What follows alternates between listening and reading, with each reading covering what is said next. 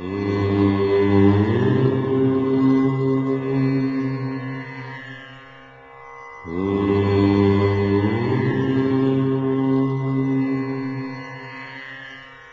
నమస్కారం.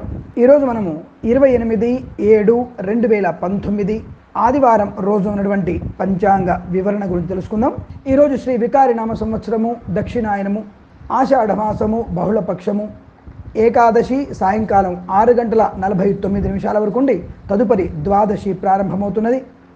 రోహిణి నక్షత్రం రాత్రి ఏడు గంటల పద్దెనిమిది నిమిషాల వరకు ఉండి తదుపరి మృగశిర నక్షత్రం ప్రారంభమవుతున్నది. వర్జము మధ్యాహ్నం పదకొండు గంటల ఇరవై రెండు నిమిషాల నుంచి పన్నెండు గంటల యాభై ఏడు నిమిషాల వరకు తిరిగి రాత్రి పన్నెండు గంటల నలభై ఒక్క నిమిషాల నుంచి రెండు గంటల పదమూడు నిమిషాల వరకు దుర్ముహూర్తం సాయంకాలం నాలుగు గంటల యాభై ఐదు నిమిషాల నుంచి ఐదు గంటల నలభై ఆరు నిమిషాల వరకు అమృత ఘడియలు సాయంకాలం నాలుగు గంటల ఎనిమిది నిమిషాల నుంచి ఐదు గంటల నలభై మూడు నిమిషాల వరకు. రాహుకాలం సాయంకాలం ఐదు గంటల ఒక్క నిమిషం నుంచి ఆరు గంటల ముప్పై ఏడు నిమిషాల వరకు వ్యాప్తిగా ఉన్నది.